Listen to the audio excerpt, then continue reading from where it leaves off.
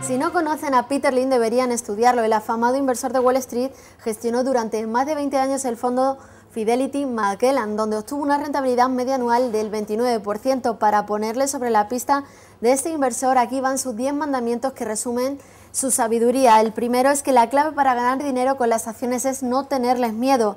El segundo responde a que se puede tener dinero a corto plazo, pero para ganarlo es necesario el largo plazo. Lynn señala en tercer lugar que es importante aprender que detrás de cada acción hay una empresa. El cuarto mantiene que si no analizas, las empresas tienen las mismas oportunidades de éxito que un jugador de póker que apuesta sin mirar sus cartas. En mitad de la tabla figura que invertir es un arte, no una ciencia. Lynch aconseja en sexto lugar que nunca se debe invertir en una idea que no se puede ilustrar en un papel con un lápiz. En séptimo lugar, el inversor reflexiona sobre que la mejor empresa para comprar puede ser alguna de las que ya tengamos en cartera. Dice Lind que, excepto en caso de grandes sorpresas, las acciones son bastante predecibles en periodos de 20 años.